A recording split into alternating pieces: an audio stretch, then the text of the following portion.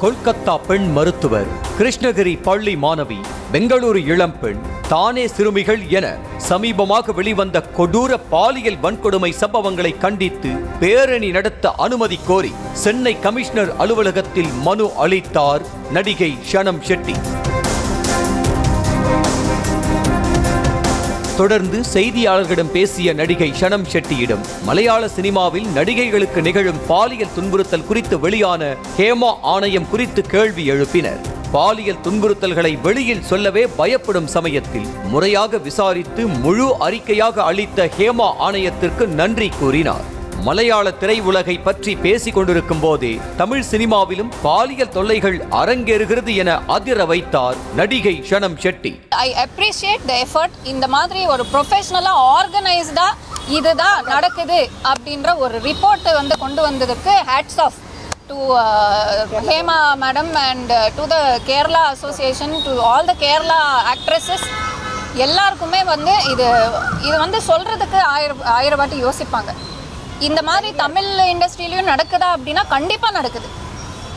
இல்லைன்னு யாராலையும் சொல்ல முடியாது. அட்ஜஸ்ட்மெண்ட் செய்தால்தான் வாய்ப்பு கிடைக்கும் என கட்டாயப்படுத்தினால் செருப்பால் அடிக்க கூட தயங்கக்கூடாது என ஆவேசமான நடிகை ஷனம் ஷெட்டி தனக்கும் இது மாதிரி நிறைய அனுபவம் இருப்பதாக பகிர்ந்து கொண்டார். அத்தோடு நடிகைகள் மட்டுமல்லாமல் புதிதாக சினிமா கனவுடன் வரும் ஆண்களுக்கு கூட பல அக்கிரமங்களும் பாலியல் ரீதியான அத்துமீறல்களும் அரங்கேறுகிறது என வெளிப்படையாக போட்டு உடைத்தார். இப்போ நிறைய பேர் கேட்பாங்களே அன்னைக்கே சொல்லியிருக்கலாம் அப்போவே சொல்லியிருக்கலாம் அப்படின்னு சொல்லியிருக்கே.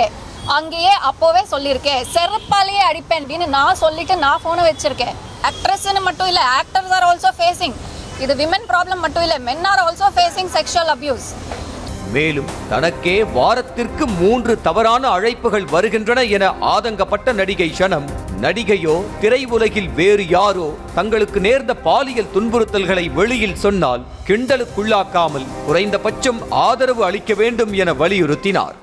ஒரு வாரத்துக்கு ஒரு ரெண்டு மூணு கால்ஸ் இந்த மாதிரி வருது.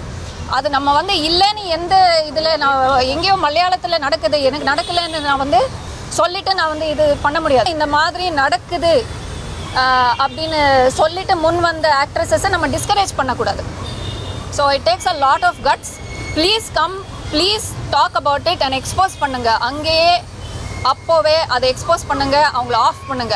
ஏற்கனவே தமிழ் சினிமாவில் அட்ஜஸ்ட்மெண்ட் பிரச்சனைகள் இருப்பதாக நடிகைகள் பலரும் பேசியிருந்தாலும் கூட அது பற்றி விசாரிக்க எந்த நடவடிக்கைகளும் எடுத்தது கிடையாது. அதை தாண்டி போலீசில் புகார் அளித்தாலும் ஆழ்பலம் பணபலத்தை வைத்து வழக்கை முடித்துக் கொள்ளும் நிலைதான் இருந்து வருகிறது. ஆகையால் மல்லுவுட்டில் நடிகைகள் நிலைமை குறித்து விசாரிக்க அமைக்கப்பட்ட ஹேமா ஆணையம் போல கோலிவுட்டிலும் ஆணையம் அமைத்து விசாரித்தால் மட்டுமே தமிழ் சினிமாவின் மறைக்கப்பட்ட கருப்பு பக்கங்களும் வெளிச்சத்திற்கு வரும். செய்திகளை உடனுக்குடனும் துல்லியமாகவும் தெரிந்து கொள்ள சப்ஸ்கிரைப் பண்ணுங்க.